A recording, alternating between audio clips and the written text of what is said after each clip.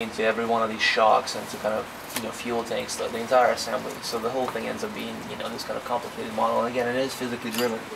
Um, so let's do a single sort of run through of this thing, um, kind of in automatic mode.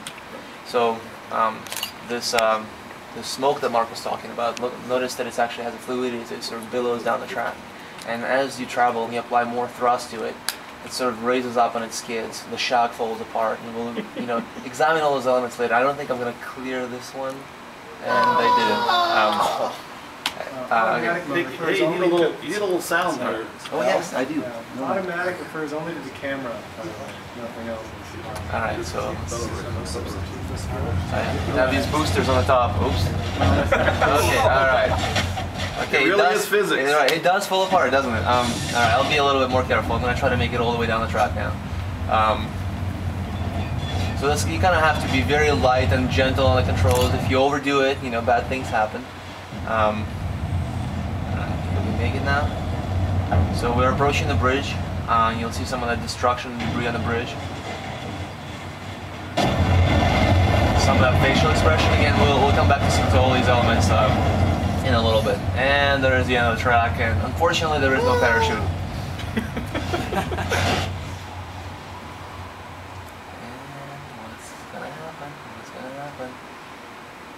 Oh no.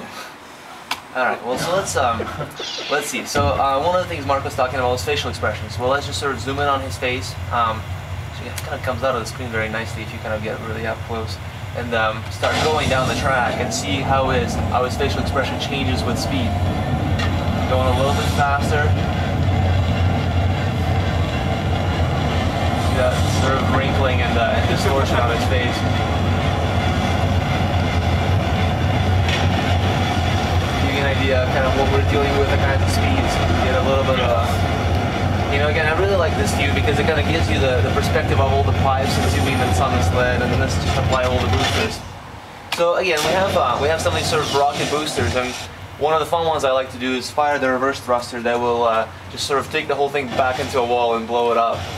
Um, now our guy, uh, once we focus on him here, we can eject him, and that sort of gives you a very nice view of the vista gives you kind of the idea of the complexity in the, in the environment and sort of draw distances that we're pulling here. I mean, this entire thing is, you know, not culled at all. There's, you know, the airplane goes beyond the sort of the, the furthest object.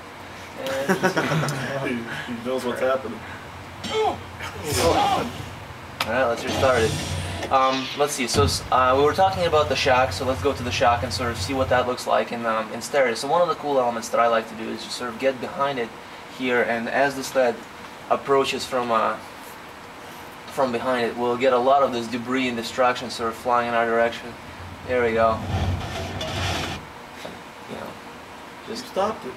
I did, but it's just a very kind of, I like the sort of the depth and, and, and perspective that this gives you. Um, let's, uh, let's get a little bit closer maybe, and let's restart it and get the sled going again.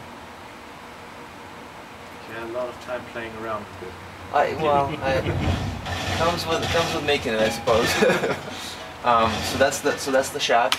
Um, let's go back to the bridge that Mark was talking about. So here's our bridge, and we can sort of just blow it up. And this is, um, uh, I think in this current time, it's running uh, 10,000 objects or something like that for uh, um, for for the debris.